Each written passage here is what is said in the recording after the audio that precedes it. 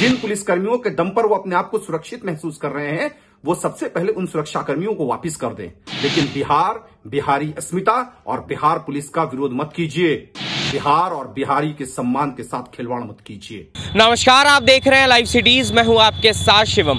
रुपेश सिंह हत्याकांड मामले को लेकर जहाँ एक तरफ़ पटना के एसएसपी उपेंद्र शर्मा ने खुलासे किए एक अपराधी को पकड़ा, उसके बाद बिहार पुलिस पर सवाल उठ रहे हैं। वहीं आपको बता दें कि विपक्ष के नेताओं के द्वारा लगातार बिहार पुलिस पर सवाल उठाए जा रहे हैं। इसी क्रम में आज बिहार के पूर्व मुख्यमंत्री और हम पार्टी के राष्ट्रीय अध्यक्ष जीतन राम मांझी ने अपने ट्विटर हैंडल से ट्वीट करके साफ़ तौर पर नेता प्रतिपक्ष तेजस्वी यादव को घेरने का काम किया है, जो आप अपने स्क्रीन पर साफ़ तौर पर देख सकते हैं कि आज जीतन राम मांझी ने साफ़ तौर पर ट्वीट करके लिखा है कि जिस तरह से बिहार पुलिस के सुरक्षा पर सवाल उठाए जा रहे हैं, ऐसे में जो बिहार पुलिस के सुरक्षा घेरे में हैं, उन्हें अपनी सुरक्षा को वापस कर देना चाहिए। इसी को लेकर जब हमने हम पार्टी के राष्ट्रीय प्रवक्ता दानिश रिजवान से बात की तो उनका क्या कुछ कहना है? पहले आप वो सुने। देखिए, देश में जिस तरीके से कांग्रेस पार्टी के नेता मोदी जी का विरोध करते करते देश का विरोध करने लगे, देश के सेना का विरोध करने लगे, उनके खिलाफ बोलने लगे।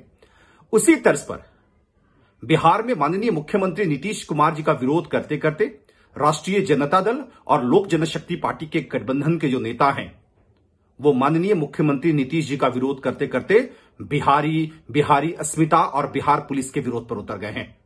अगर इनको लगता है कि बिहार पुलिस सक्षम नहीं है, जाँच ठीक से नहीं करती है उनकी कार्यशैली पर अगर ये सवाल उठा रहे हैं तो सबसे पहले ऐसे नेताओं से मैं अनुरोध करता हूँ कि अपनी सुरक्षा, जिनकी सुरक्षा में वो खुद को सुरक्षित महसूस कर रहे हैं, जिन पुलिसकर्मियों के दम पर वो अपने आप को सुरक्षित महसूस कर रहे हैं, वो सबसे पहले उन सुरक्षाकर्मियों को वापिस कर दें। तब जाकर बिहार पुलिस की कार्यशैली पर सवाल या निशान खड़ा करें। एक तरफ़ आप बिहार पुलिस की सुरक्षा में ही घूमते हैं, अपने आप को सुरक्षित महसूस करते हैं, और दूसरी तरफ़ उसी पुलिस पर सवाल उठा रहे हैं, ये निंदनीय है। आप माननीय मुख्यमंत्री नीतीश कुमार जी का विरोध कीजिए, लेकिन बिहार, बिहारी अस्मिता और बिहार पुलिस का विरोध मत कीजिए। इससे हमारे बिहारियों का मनोबल टूटेगा। कभी आप महाराष्ट्र में बिहारियों को गाली दिलवाते हैं, कभी झारखंड में बिहारियों को गाली दिलवाते हैं। आखिर ये चाहते क्या हैं आप? बिहार और बिहारी के सम्मान के साथ खिलवाड़ मत कीजिए।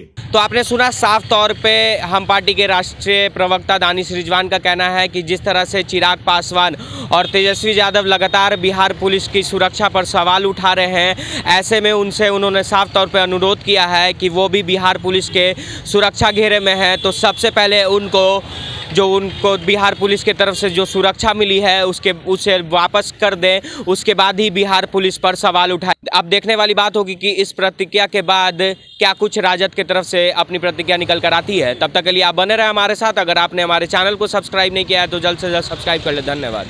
जिन पुलिसकर्मियों के दम पर वो अपने आप को सुरक्षित महसूस कर रहे हैं, वो सबसे पहले उन सुरक्षा कर्मियों को वापिस कर दें। लेकिन बिहार, बिहारी अस्मिता और बिहार पुलिस का विरोध मत कीजिए। बिहार और बिहारी के सम्मान के साथ खिलवाड़ मत कीजिए।